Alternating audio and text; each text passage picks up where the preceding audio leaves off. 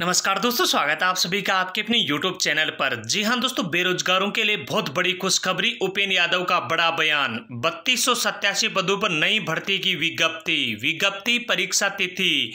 एक लाख पदों पर नई भर्तियों की विज्ञप्ति जुलाई और अगस्त में होगी जारी। तो दोस्तों, देख लेते हैं क्या है पूरी खबर। दोस्तों, वीडियो को लाइक और शेयर ज़रूर करें।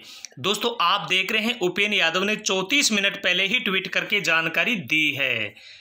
बिजली विभाग में संभावित बत्तीस पदों पर नई भर्तियों की विज्ञप्ति निकालने के लिए वित्त विभाग से वित्तीय स्वीकृति मांगी गई है।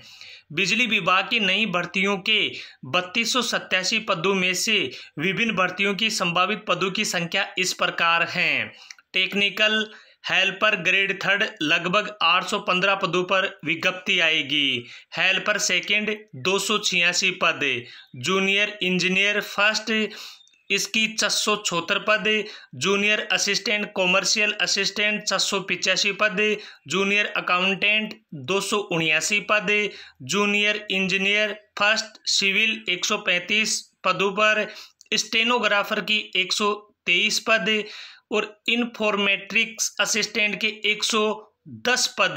यानी दोस्तों, आप देख रहे हैं, कुल मिला के बिजली विभाग में तीन हज़ार दो सौ सत्तासी पदों पर नई भर्ती की विज्ञप्ति है, वो जुलाई अंत में जारी हो जाएगी। इसकी जो परीक्षा है, वो सितंबर या फिर अक्टूबर में होने की पूरी संभावना है।